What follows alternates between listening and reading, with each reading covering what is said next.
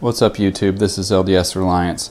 I want to test something today that I've been eager to test for a long time. I've gotten lots of comments from people whenever I do videos on these um, thermoelectric coolers or Peltier modules, Peltier modules, however you want to pronounce it. I've gotten in trouble both ways. But uh, I've gotten uh, lots of comments uh, talking about a concept called cascading, um, which is basically where you put two of these back to back. You sandwich them together. You have, you know, uh, the hot side touching the cold side of the other, and and theoretically, it's supposed to cool better than just one module by itself.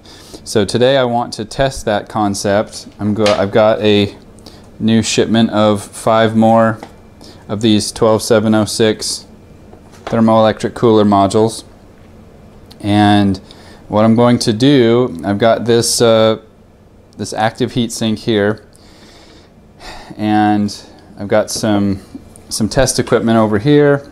i am going to be testing the, uh, the amp draw here, the, the amount of current that we're going to be using because that's going to be important. Uh, we've got a infrared thermometer that's going to be able to tell how cold the cold side is getting of this. I've got my uh, power supply over here and that's pretty much it. That's all we're going to need. So um, first what I'm going to do is I'm going to connect this Peltier module to this heatsink. I just cleaned it off with uh, with uh, alcohol um, so everything's nice and clean. I'm going to use this thermal compound to connect this Peltier module to this heatsink and then we're going to get some base measurements of how much current is being drawn and how much and, and how cold the cold side gets after a specific period of time. After I get the baseline measurements, what we will do is I'll open up one of these brand new modules. We will sandwich it to the uh, the other the, this Peltier that's going to be on here. Um, and then we will take some more measurements of the amount of current that is being consumed and, and how cold the cold side gets. And then we'll do some calculations and some analysis on whether it was beneficial or the pros and cons of this and so forth.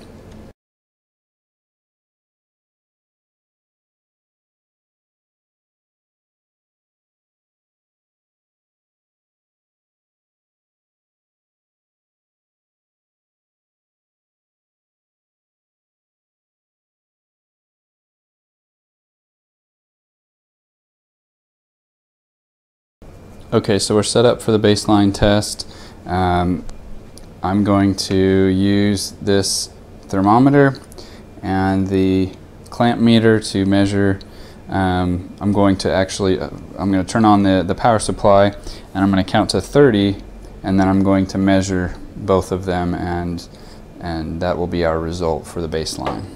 So here we go.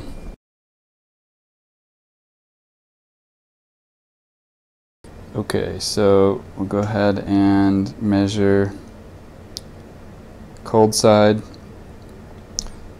39.5 to 40. Let's just call it 40. And we are drawing 6 amps of power. So that's our baseline. Now we're going to go ahead and add some more um, compound to the top of this and sandwich another Peltier module on top.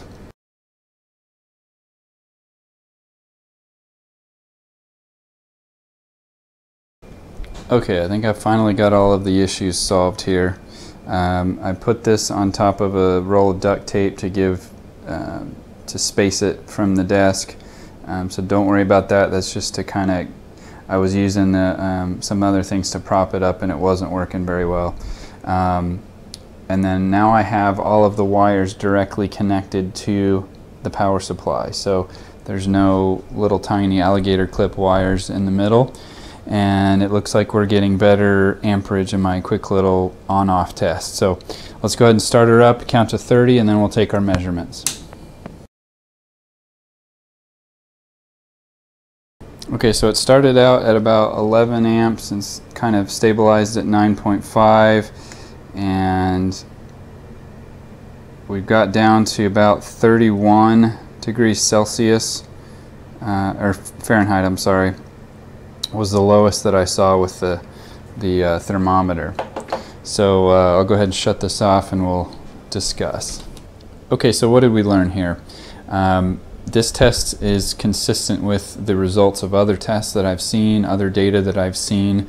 So while there are flaws with this test and things that I could have done better, certainly, um, it is the, the result is consistent with, with other data out there. And what that tells us is that cascading is great if you care about top performance and don't care about efficiency or power consumed because when we were cascading this, we were using 11, 9.5 to 11 amps, and we only dropped about 8 or 9 degrees. We got down to 31 degrees Celsius, or Fahrenheit was the lowest that I saw with the cascading, and we got to 39.5, 40 with just the single module.